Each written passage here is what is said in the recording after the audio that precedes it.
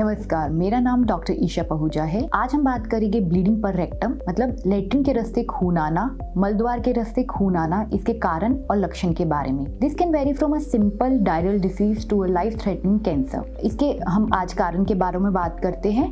पहला और most common कारण है हेमोरॉइड्स यानी बवासीर और पाइल्स इसमें मरीज़ को जनरली बिल्कुल ब्राइट रेड कलर का ब्लड आता है और ब्लड हमारे स्टूल्स के साथ सेपरेट होता है।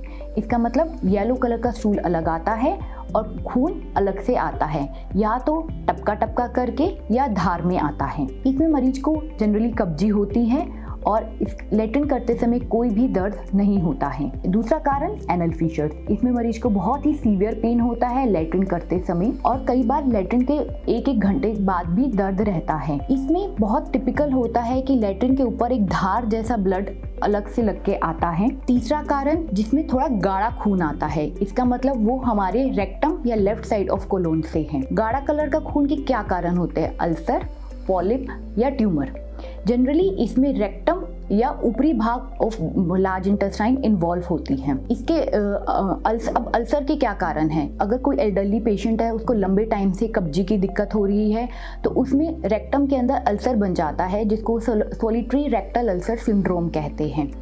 दूसरा इन्फेक्शन और डायरियल डिसीज जैसे अमीबियासिस टाइफॉइड इसमें भी मरीज़ को लेटरिन के रास्ते खून आ सकता है। इसके एसोसिएटेड सिम्टम्स यूजुअली पेट में दर्द होना, बुखार होना और इसमें हमें शॉर्ट हिस्ट्री मिलती है। चौथा कारण है इन्फ्लोमेटरी बावल डिसीज ये दो तरह से होता है। अल्सरेटिव कोलाइटिस और क्रोन्स डिसीज जिसको संग्रहणी की बीमारी भी कहते हैं। इसके अंदर ब्लड के साथ, जो स्टूल के साथ ब्लड यूजुअली मिक्स करके आता है। मरीज़ को एसोसिएटेड सिम्टम्स होते हैं। फीवर पेट में दर्द होना, वज़न कम होना, भूख कम लगना जैसे सिम्टम्स भी होते हैं। पांचवा कारण है कोलोरेक्टल कैंसर कोलोरेक्टल कैंसर में मरीज़ को अलग अलग तरह के सिम्टम्स आते हैं। जैसे लेटिन के रस्ते खून के अलावा मरीज़ का वज़न कम होना बावल ऑब्स्ट्रक्शन होना अल्टरनेट बावल हैबिट्स होना पूरियस डायरिया होना, भूख कम लगना जैसे सिम्टम्स आते हैं। छठा कारण हो गया डायवर्टिकुलर डिसीज सातवां कारण हो गया एंजियोडिस्प्लेजिया एंजियोडिस्प्लेजिया और वस्कुलर लीजन्स तो इस बीमारी को डायग्नोज और ट्रीट कैसे करेगी? डायग्नोसिस के लिए हम इसमें दूरबीन की जाँच करते हैं, जिसको कोलोनोस्कोपी कहते हैं। अगर मरीज़ को जैसे पॉलिप है तो हम पॉलिपेक्टमी भी साथ में कर लेते हैं। और कोई अल्सर या कोई कैंसर की ग्रोथ है तो हम बायोप्सी ले लेते हैं। तो एक सिंपल दूरबीन की जाँच मतलब कोलोनोस्कोपी से हम बीमारी का पता लगा लेते हैं। दूसरा, इसका ट्रीटमेंट कैसे करेंगे? सबसे पहले अगर हमें मरीज़ का कारण पता चल चुका है तो हम कारण को ट्रीट करेंगे। जैसे हेमरॉइड से मरीज़ को लंबे टाइम से कब्जी है तो सबसे पहले कब्जी का ट्रीटमेंट करेंगे। लोकल ऑइंटमेंट्स देंगे।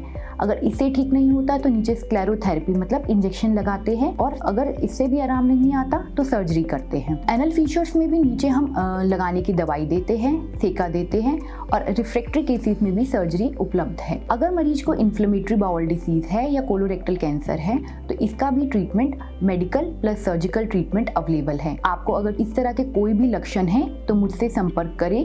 पॉजिट्रॉन सिटी ओपीडी में। धन्यवाद।